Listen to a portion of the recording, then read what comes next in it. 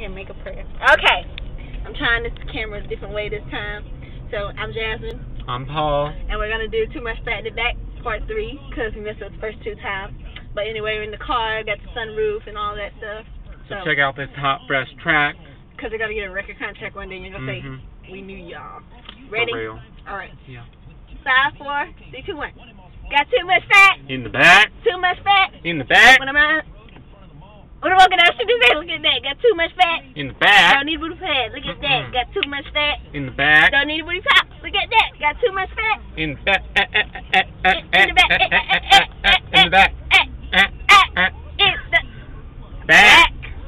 All right. Bye. Goodbye.